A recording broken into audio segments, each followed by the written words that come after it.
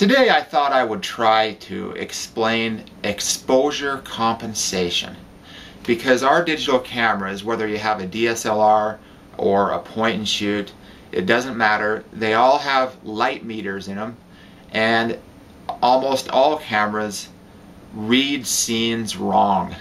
If you have a lot of dark in a scene, your camera is going to read that wrong. And if you have a lot of light in the scene, it's going to do the same thing. It's going to read it wrong. You're going to have to, that's why it's there. That's why they have exposure compensation. So we, as photographers, can see the scene and adjust our cameras. Because even the best metering systems can't get it right every time. They do a good job, but they can't get it right every time. So let's take a look. I set up a little, a couple little scenes here, and I'll try to show you how it works.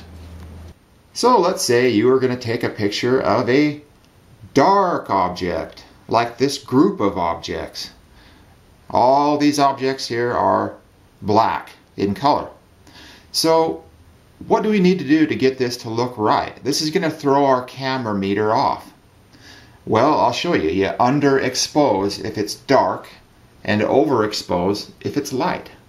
So let's take a look at the digital SLR here. Here's our group of dark objects that we're going to photograph. So if you look at their light meter down towards the bottom of the frame right here, that is the what the camera is saying is the correct exposure.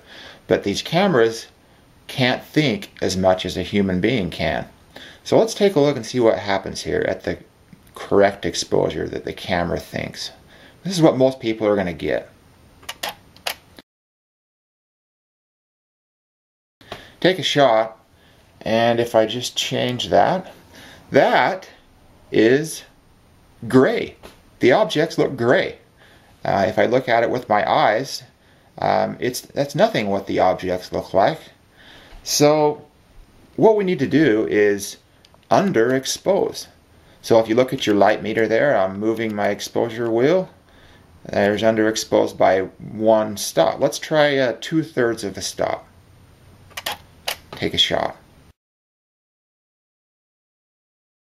Now that's getting closer to what my eye is seeing. Um, so I'm going to go, let's try uh, one and a third stops.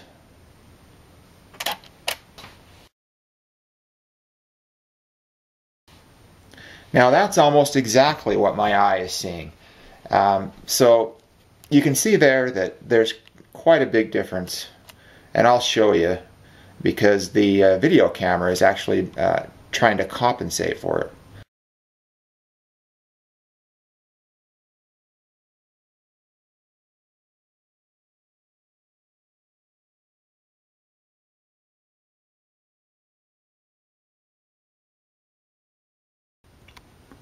Now let's say you were trying to shoot a picture of a white object. Now this is the uh, nearest white object I could find, it's an umbrella. But anything white, snow, any, any white scene. Now let's take a look at uh, exactly the same thing as the dark object, but in reverse. Now let's take a look at that on the uh, digital SLR here. And here we are with our light object. Could be a wedding dress, could be snow, anything light in the light end of the spectrum. So you can see our, our light meter down here on the bottom is saying that's the correct exposure. So I've pre-focused and I'll take a shot. Now that actually looks gray, looks like gray. So what we need to do is take our exposure up. As you can see there, the meter is moving. I am now, well, try it the same way. We'll try it two-thirds of a stop overexposed, like we did underexposed for the dark subject. So there we are, two-thirds of a stop overexposed. Take a shot.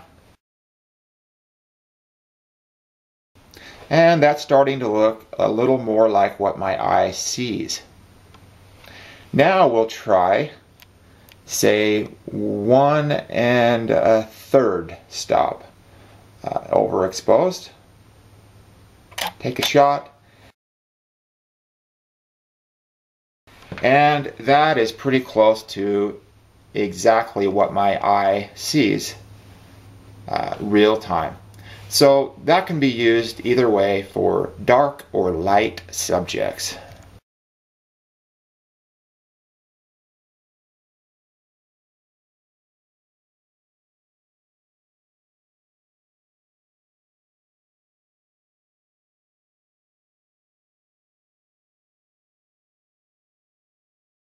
I hope you sort of understand it a little bit better now. Um, you know, like I say, it's something that really took me a long time to understand.